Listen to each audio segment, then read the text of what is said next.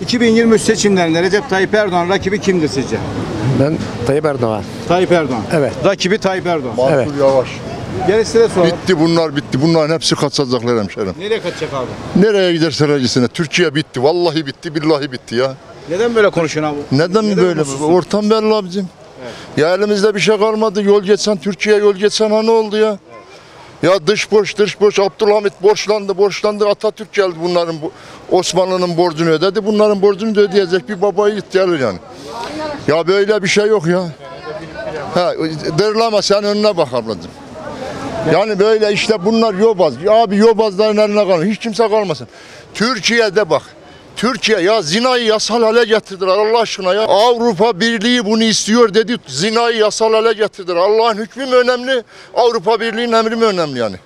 Müslümanlar biraz uyanık olmalı. Böyle yapmalı abi ya. Ya sokaklar pislikten geçilmiyor Allah aşkına ya. Vallahi billahi ya.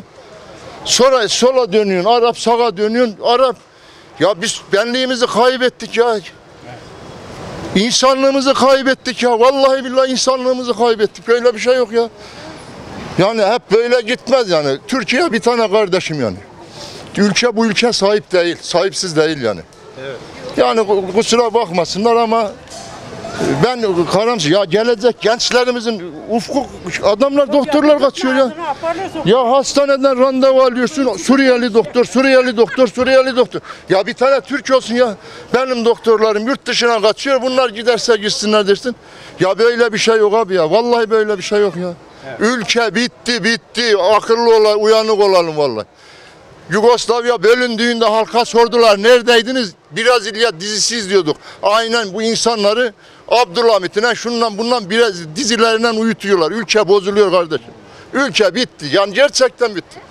Biraz uyanık olalım. Bu kadar.